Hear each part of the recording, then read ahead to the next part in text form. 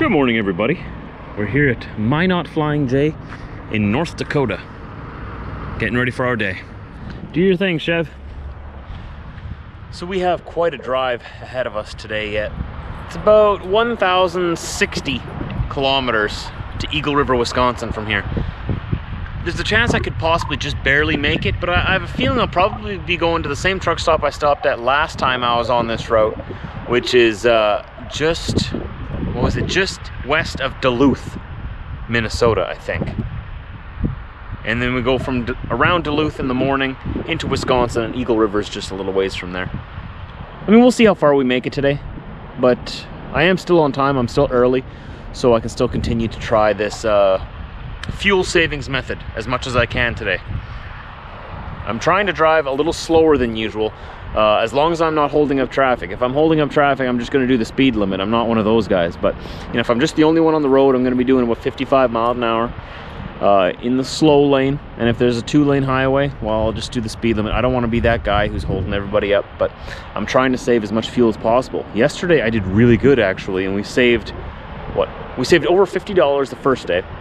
I saved over $60 yesterday. That's already over $100 that's going to be in my pocket at the end of the month instead of floating around in the atmosphere as exhaust. So that's pretty cool. Oh no, it's all muddy. And I know you're going to go straight to the back with those muddy paws. We're going to try to get some of that mud off of you before you go in the truck. Yeah. Yeah. And another day, another page in the life of me. Here we go. I wish I had a little bit more time to visit the Blue Beacon truck wash here. But I don't have that much time. I have enough time to get there. Maybe I'll be able to find a truck wash tomorrow, because tomorrow is going to be mostly a day off. I have the hours to get to my customer. I explained this to you already, right? But I'm only gonna have maybe one or two left over after I deliver tomorrow. Which isn't gonna get me far out of northern Wisconsin.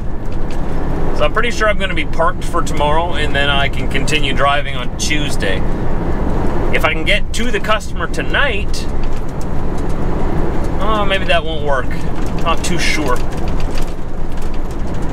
Either way, tomorrow I'm going to be parked, relaxing. The government of the United States of America says I have driven too much. I have worked too much this week and I need a day off. They demand it.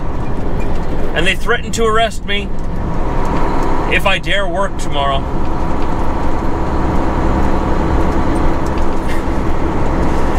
What I, what I mean is that in the United States, I'm only allowed to drive 70 hours within eight days. That's the law. In Canada, I can drive 70 hours within seven days, and then on the eighth day, I can take the hours from the first day and add that on to my total amount so that, so that I never go over 70 hours in seven days, right? But in the US, since it's 70 hours in eight days, that's less. You can't get as far, and if I was in Canada, I wouldn't be out of hours. But since I'm in the US, I'm gonna be out of hours tomorrow, so I have to shut down and park. That's another reason why it's tougher to make money as a truck driver when you're driving in the U.S. because their their laws and regulations here for truckers uh, prevent you from making money sometimes. I'm not, that's not a shot at the U.S. I love you guys. Don't. I'm just comparing right now, and I shouldn't talk too much, I guess, because you know as soon as Canada realizes that U.S. is doing something little brother little brother Canada wants to, you know, follow in the footsteps of big brother America right away, and they're going to change all their laws and sort of like a running joke with us. Whatever the US does, you can bet Canada's going to do it too. Even if they go to war, hey, if US decides they're going to war, guess what? So are we. If they decide the war's over, guess what? Woo, we're going home. If they decide truckers need more laws, guess what? Canada suddenly decides, you're right, big brother, truckers do need more laws. We're such a little puppy. We're, little, we're like the little puppy of America. Just arriving in Grand Forks, North Dakota. The bridge to Minnesota is just ahead of us there, and of course this light doesn't like me. How dare you turn red? How dare you? I don't know if you can see it yet. It's, it's a ways ahead. The fisheye lens of the GoPro makes it hard to see far distances away. That looks like it's probably about a three quarter mile or half mile ahead. We're gonna cross over the Red River. That's the river that flows into Manitoba. So Manitoba's left of us, straight north of here. Well, we've been traveling along highway number two. And that's the highway that uh, is the northernmost main major highway, US highway, in North Dakota before you hit the Canadian border with Manitoba and Saskatchewan. So it is a four-lane highway all the way up to Grand Forks here uh, from Minnesota, uh, from Minot. Anyways, that's where we've been traveling on it. And I, I, have a feeling that once we get into Minnesota, it might turn into a two-lane, but we are going to keep continuing down this road all the way through Minnesota. It's a less traveled route. You wouldn't see much freight moving through here, but we get to go take a look at it anyways. Here's the bridge. I believe it's the same town. I don't know if Grand Forks is fully on the west side of the Red River here or what's on the other side, if they call it a different name. Welcome to Minnesota. Like a little further south of here, there's Fargo, North Dakota on North Dakota side of the river, and then Moorhead, Minnesota on this side. Now we're officially in Minnesota. Oh, it says East Grand Forks right here. Oh, okay, well that's simple enough. So Grand Forks is on the North Dakota side, East Grand Forks is on the Minnesota side. But the majority of the city is on the other side, on North Dakota. Wonder how that works, you know, I guess. I wonder if there's like differences in taxes. Like if property taxes or income taxes are totally different on this side of the river, I would just move to the other side of the river if it's the same city. I just live wherever the taxes are the cheapest. or maybe they're exactly equal. I don't know. Still got a long ways to go yet. We'll be driving late into the night. This is Deer River, Wisconsin. Oh, pardon me. No, we're still in Minnesota, aren't we? Deer River, Minnesota. Yeah, I think that's right. Last time we came through here, it was they had all their Christmas decorations up, I think. They still got their little snowflakes up on their light poles. That's nice. I like it when little towns decorate. Gives you a little bit of feeling of community spirit. We are getting close to Eagle River right now. This is not Eagle River yet, but this is one of these awesome northern Wisconsin towns. Up here in the northern part, like right near uh, like northern Michigan, right near that border. Not a lot of people come up here unless if they live here, right? There's not a lot of through traffic here like there is on on the interstates. So usually when you come to these communities, this is like America as it was from the beginning, sort of. You know what I mean? Small town America. Not saying that the big cities aren't, aren't America. Don't take it that way. But this is this is true small town America. You know, unfiltered. There's no people here that aren't here for a reason. You know, because they live here. I don't know what I'm trying to say here. It's probably coming out all wrong. But you know what I mean, right? This is sort of like a where we live in Canada as well. Am I going? Am I going? My turn, right? Okay. Thank you. Thank you. Excuse me. Pardon me. Sorry, I'm really heavy. I'm kind of slow. Don't look at me like that. This kind of the area that we live in too in Canada. And these are my favorite areas too because they're they're untouched. What I like to say. I don't know if I'd want to live on like the Trans Canada not that there's not a lot of great communities along the Trans-Canada, but I like the quietness of communities like this. You know, the, the small town hospitality where everybody sort of knows everybody. And you know, if there's a douchebag in town, everybody knows. I know a couple of douchebags myself, believe me. Been dealing with one in specific this week, but nonetheless, there are way more good people than bad people in this world. Let's leave it at that. The bad ones just really suck and they're really annoying. Looks like we got some nice hills coming up here though. Right on. If you haven't figured it out yet, I've combined yesterday and today into one day. So we didn't actually get all the way here from Minot in one day. we made it to uh, right where we thought we would, just west of Duluth, Minnesota. Look at this guy on the right here, sitting there. That's awesome. Uh, I don't know if the camera picked that up or not. That was funny. But uh, we're just about at the customer here, and I, I've called in and asked what my next directions are because I only have two hours remaining on my 70 hour clock and uh, there's no direction that they want me to head yet. I can't move till tomorrow I guess then. They want to try to find me a load uh, to southern Ontario to St. Catharines there again to uh, pick up some more steel. Probably take it to Alberta again. So I was kind of hoping to go home from here, but I guess I'll take what I can get, right? Still gotta work. So that means I'll be gone probably another five days, maybe. From here, I'm guessing to St. Catharines would probably be just over a day's drive. But let's say we leave tomorrow, Tuesday, I'd get there Wednesday. Plus I have to pick up a load and deliver it in the meantime. So Wednesday, probably get to my reload in St. Catharines Thursday. Reload it there, that takes a lot of the day. Start heading home Thursday, Friday. Be home either Saturday night or Sunday. And when I'm filming this right now, it's, what is it today, Monday? Still another week yet that I'll be on the road. Uh, that's okay, I guess. Oh, I miss my wife and miss being at home and there's some stuff going on right now at home behind the scenes that I'd, I'd really like to be with her for right now. But life of a trucker, right? Drama will always show up. But I'd really like to be there to stand with her. Some people just not treating us very nicely. But, oh, we'll come out of it, right? Life is about overcoming, becoming better people. Hard things will be thrown at us all the time, and sometimes we make mistakes. Sometimes others make mistakes. Sometimes it's the blame goes both ways.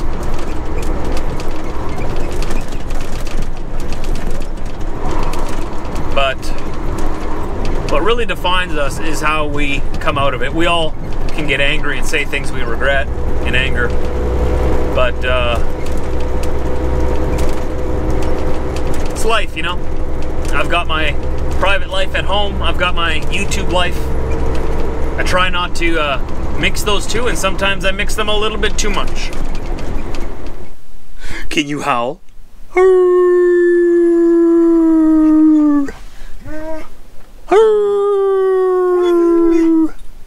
Can you howl? Hmm? Let me turn the mic around so that everybody can hear you. Okay? Alright, I want you to sing, okay? You sing?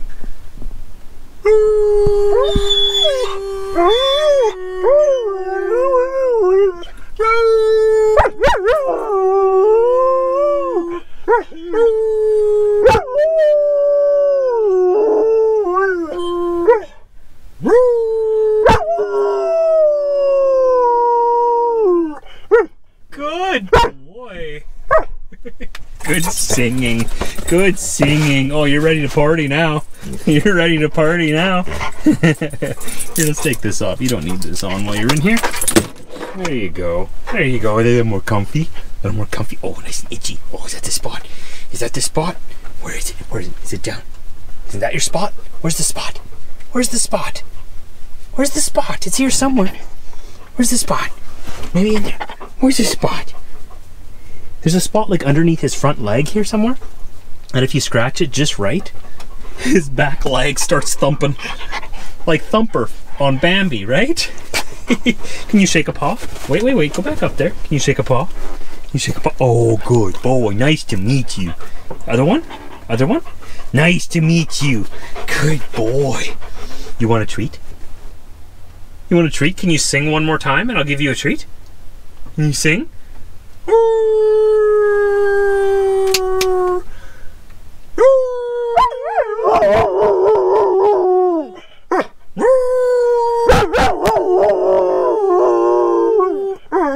One more.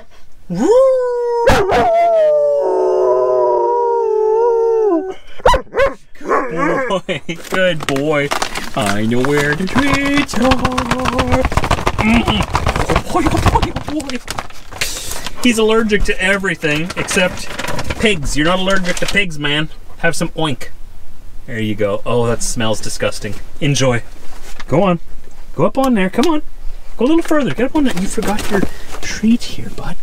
Here. There you go. Enjoy. You earned it.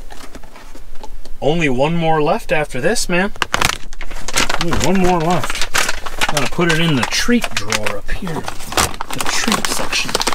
Some of these treats in here are for uh, for Diesel, because Diesel's usually with me. Uh, the rest of these treats I can't even show to Chevy because uh, they have chicken in them. And Chevy is allergic to chicken. But he's not allergic to pig. so while he enjoys that, I'm going to uh, sit here and do absolutely nothing and relax like a boss. Did I tell you where we are yet? I don't even, I didn't even tell you where we are, did I? Here we are. So we're at the Cenex. I had to stop here because I only had seven minutes left on my 70 hour clock. We're here at the back of the lot. Just enjoying ourselves, enjoying the sunset behind us so it's not in our face. But uh, I had to stop because uh, my logbook, the government said, thou shalt stop within seven minutes. So here we are. I did plan to be here, so we made it right where I wanted to be. I'm picking up a load tomorrow in Minnesota. The load is bobcats. I believe I'm gonna have three bobcats on my flatbed behind me. I'm gonna have to use the chains. I haven't had to chain anything down in quite a while. So I'm excited to actually be hauling a little bit of machinery. A little bit of something different than I've been doing recently with all the steel and the lumber I've been pulling around. So we got to bring these three Bobcats, three different dealers in Southern Ontario. I believe we got one in Barrie, Ontario, one in Brampton, and one in, uh, what's the other one? Not Brampton, I think it starts with a B also. Let me, let me check for you. I, I have the answers. I have the answers. Where are you going, good sir? I'm just looking at this. Brantford, that's the one. So we got Barrie, Brampton, and Brantford. Triple B. It's our load after I'm done unloading those, I have to unload them all on Thursday, I believe, because what, today is Tuesday, and I can't move anywhere. So tomorrow I can recap nine hours, I believe. I'll have enough hours to get to the customer, get reloaded, and get probably about halfway to Canada. I'm gonna cross into Sarnia, Ontario, from uh, Port Huron, Michigan.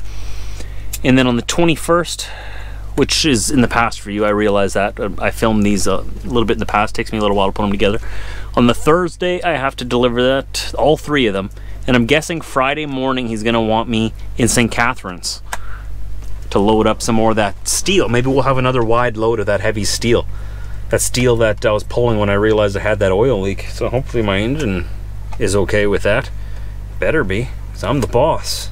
And I say we're pulling it because it has very very attractive numbers attached to it once again. Actually, this Bobcat load is actually pretty good as well.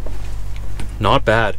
This lumber load actually paid pretty good too because it was all specialized lumber. It was all special cedar and it was being delivered to a, a custom wood place where they make all kinds of custom things for homes. So it, it actually did pay pretty good. So this the last couple of weeks of this month have been actually really good. I'm guessing that steel will be going to Alberta, so I'll be headed back through Ontario uh, Friday, Saturday. I'll get home Saturday or Sunday. Hopefully I can stay home for a day. I'm hoping Britt's going to jump in the truck with me then. Uh, then we'll deliver that to Alberta probably on the following Wednesday. And then head back home for the end of the month. Uh, so that's the rest of my month in a nutshell. I've been blabbering on here long enough. I believe I combined two days into one here. I'm not too sure if that's how it turned out or if I could make two videos out of this, but thanks for watching anyways. I appreciate all of you. There's a lot of new people watching. I want to welcome all of you. Uh, leave me a comment down below. Uh, hit that subscribe button. If you haven't already, the little bell beside the subscribe button so that you get a little notification when I upload or when I release my next video. And if you want to get to know me a little better and follow me on my social media, or if you want to go over and check out my wife's channel or her social media, all of those links to anything related to me on the internet is down below in the description of this and every one of my videos. if you're if you're interested, you can go down there and check it out. You don't have to, as long as you show up here again tomorrow and we'll hang out again. I'll see you then.